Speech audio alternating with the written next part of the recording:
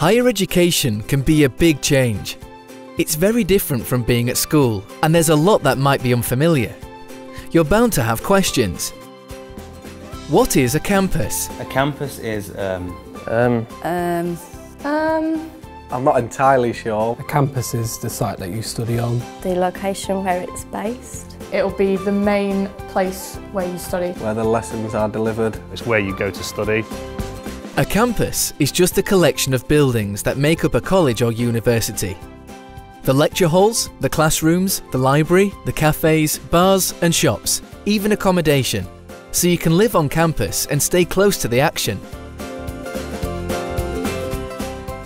Probably just confuse us. To give students as much choice as they possibly can. Different qualifications mean you can do different jobs. Different employers look for different qualifications. to give you more avenues into different types of work.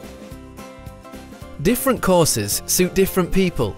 Maybe you want plenty of time to study and really dig into a subject. Maybe you want to do something a bit more hands-on. You might do well in exams, or you might prefer coursework. Some courses are there to qualify you for particular jobs, like getting a PGCE to be a teacher, or an LLB to be a lawyer. All students get a designated tutor who can offer one-to-one support during your course. There'll also be student services or a support hub in case you need advice or support with anything, whether it's academic, financial or personal. There's always someone to talk to and a way to get help if you need it. What? What was a sandwich course? Um, A sandwich course. something tasty, ham, lettuce, tomato. Of course, when you make sandwiches. It's a course on making sandwiches. No, it's definitely not a course you eat sandwiches on. Not as delicious as it sounds. A sandwich course is where you switch between studying and practical placements. It might mean spending a year abroad or working in a particular industry to learn more about it.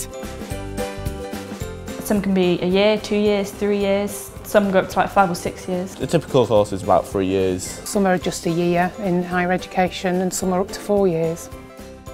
Courses can last anything from one year to seven years, depending on the course and how you choose to do it. You might want to study full-time or part-time, whatever suits you.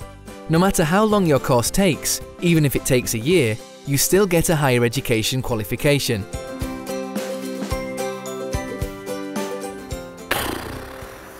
Student union is, I don't know.